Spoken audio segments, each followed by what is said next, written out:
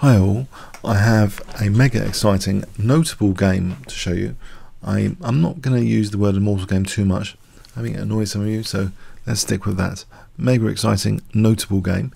It actually won the second best game prize at the Olympiad in 1992, which was held in Manila in the Philippines. Playing white was the Australian Grandmaster Ian Rogers.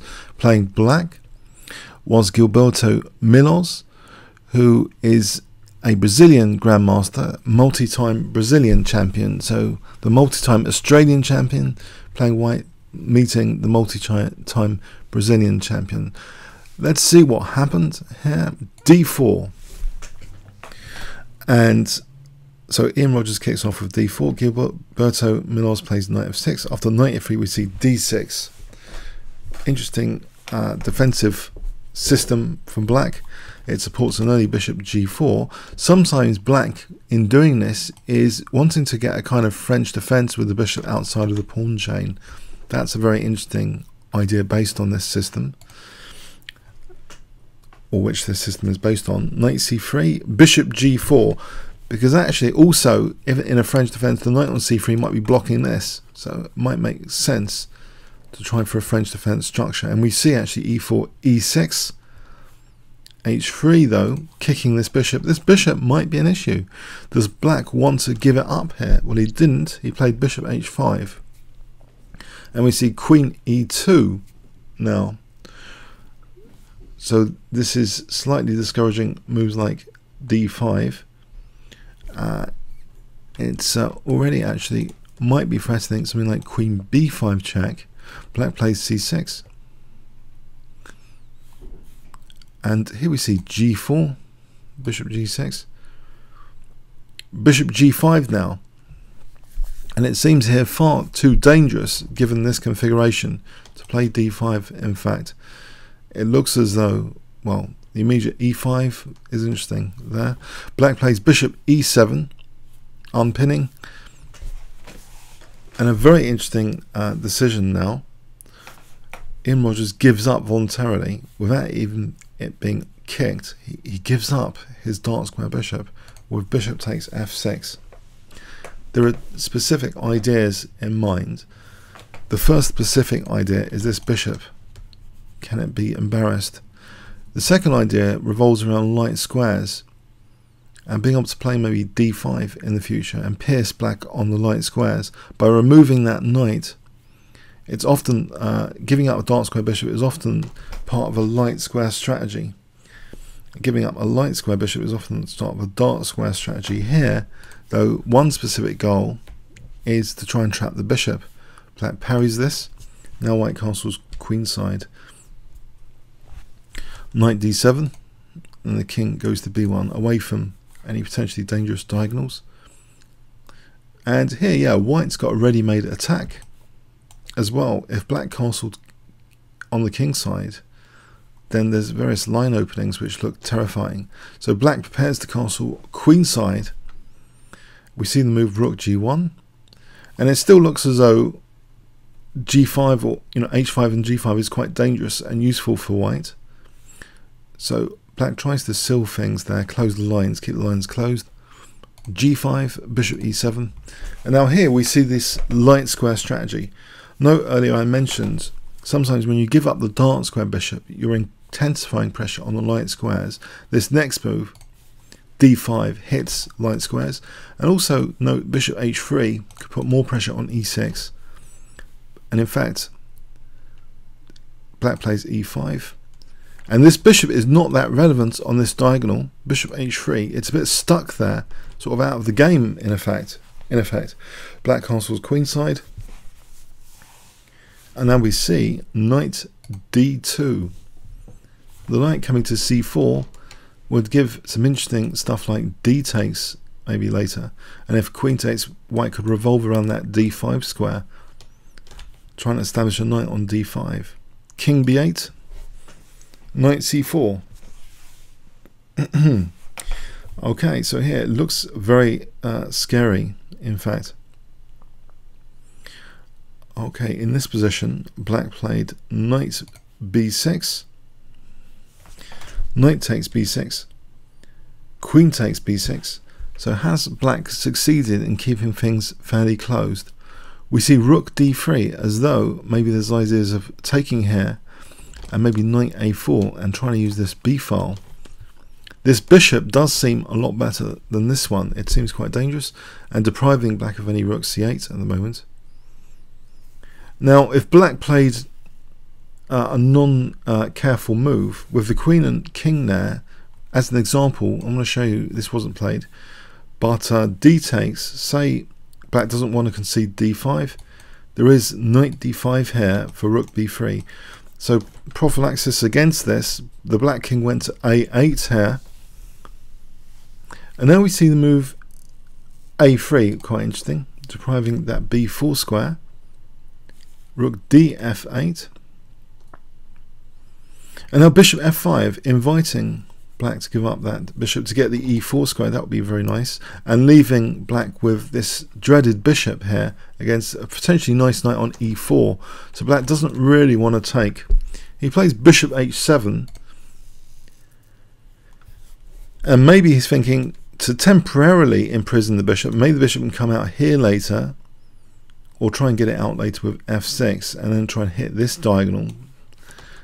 Rook dg1 sorry rook gd1 pardon me. And we see yeah this temporary temporary imprisoning of the bishop here with g6 it looks awful this bishop. It looks totally out of the game.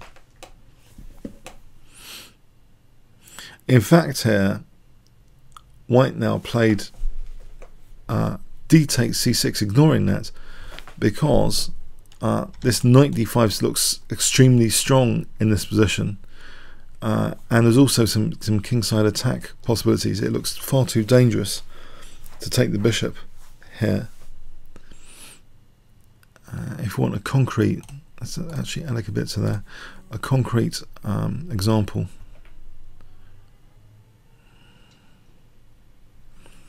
If taking, okay, so we have this knight d5, and if the queen, say the queen goes back not to lose e7, right, in this position, rook b3, with rook takes b7 and queen a6 is, is crashing down here. If, say, b6, queen a6, threatening mate, and the black queen is overloaded here, it's going to end up losing a piece here to try and defend. But even worse, no, actually, he's just going to get mated. So, yes, it's too dangerous to take that uh, bishop in this position. Far too dangerous. So we see, uh, I'll turn it off, distracting. B takes c6. And now a very interesting move, bishop d7. Yes, it's got a specific idea in mind, this move. A very specific idea. That after queen c7, guess what white plays in this position? If I give you five seconds, white to play here. Fantastic move, breaking down black's defences and exploiting the fact that this bishop's stuck here for the moment out of the game behind its own pawn. What would you play here with white?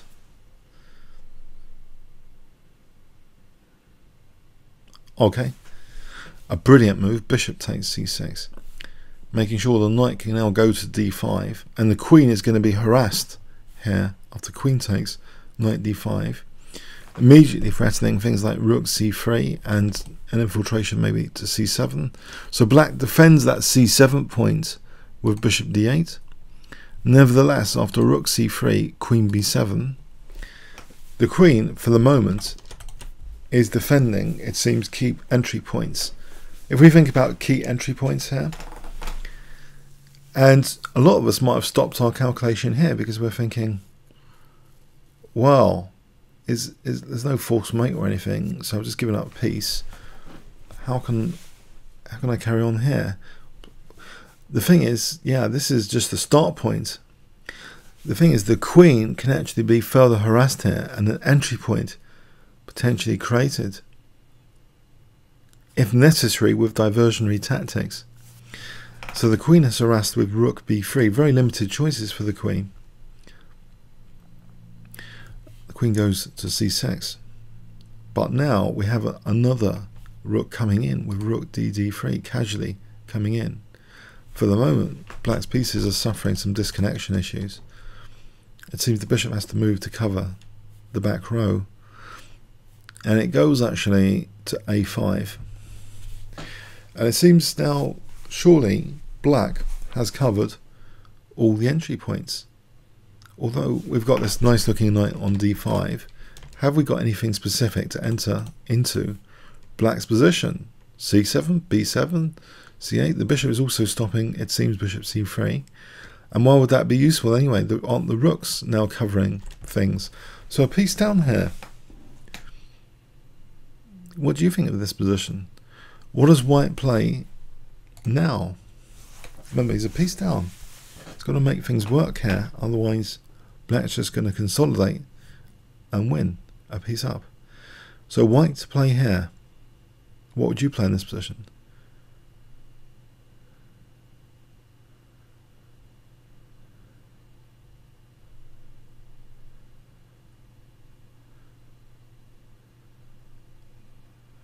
Okay, an absolutely brilliant move. Again, rook dc3.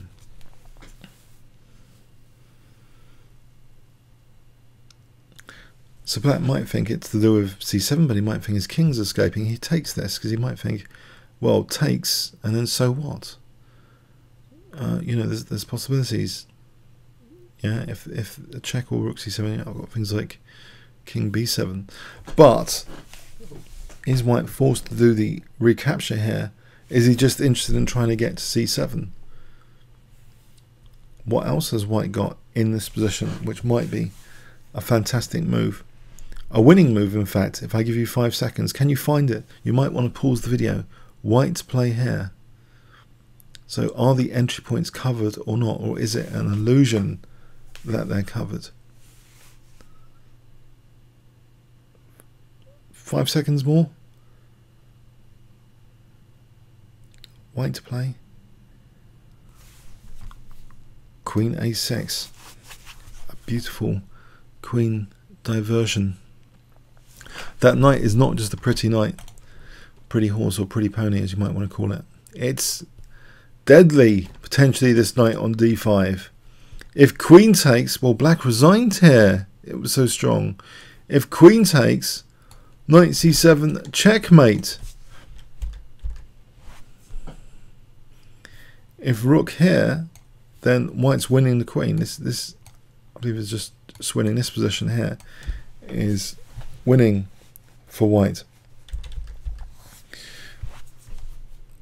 Let's check a few more things. All right, so I've said knight b6. This position, say black defends there. We take this because of that bishop, especially. This this is uh, winning for white quite comfortably. This position here. It's, it's pretty helpless for black. Uh, so after queen a6, yes, if rook c8 is the best move, this is not good. Yep, so nice checkmate diversion. Yeah, it seems as though this bishop being out of the game really didn't help matters. But yeah, the, the sacrifice on c6 just let the white pieces come in with some tempos and capitalizing on the fact that you don't need to automatically recapture. There are massive opportunities when you think about the non-recapture moves as well.